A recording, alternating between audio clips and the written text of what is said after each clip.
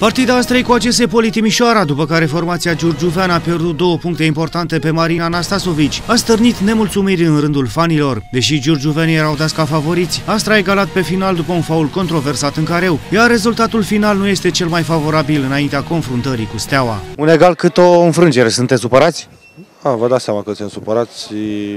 Pe finalul meciului ne-am bucurat de acest egal, am fost conduși până în ultimele minute cu 2 la 1.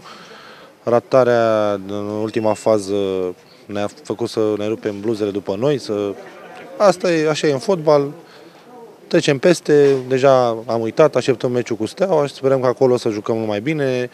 Uh, noi eram conștienți că o să avem puține probleme, că am avut uh, cele două benzi rupte din cauza uh, suspendării lui Enache și a lui Moraes, dar e bine acum ce să zicem, vreau o victorie, nu ne așteptam la un așa meci slab, dar Sperăm în continuare să rămânem pe primul loc și în momentul în care intrăm în uh, play-off să fim acolo la o distanță destul de mare. Un suporter supărat?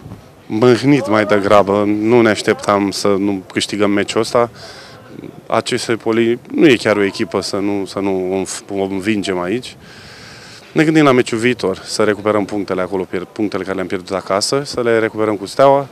Oricum, pe primul loc rămânem în continuare și să rămânem pe primul loc și în play-off și să luăm campionatul, asta e important. Am avut ceva noroc cu 11 metri în ultimele minute?